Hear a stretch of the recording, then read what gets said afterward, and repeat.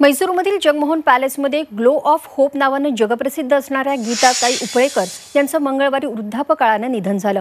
वयाच्या एकशे दोनाव्या वर्षी कोल्हापूरमध्ये त्यांनी अखेरचा श्वास घेतला. दोन फेब्रुवारी दोन हजार सतराला त्यांनी वयाची शंभरी पूर्ण केली होती. त्यांचं चित्र जलरंगातील असून ते जगातील तीन उत्कृष्ट चित्रांपैकी एक आहे. एकोणीसशे बत्तीस साली तयार झालेलं हे ऐतिहासिक चित्र मैसूरचे राजे जयचमा राजेंद्र वडियार यांनी तीनशे रुपयांना विकत घेतलं.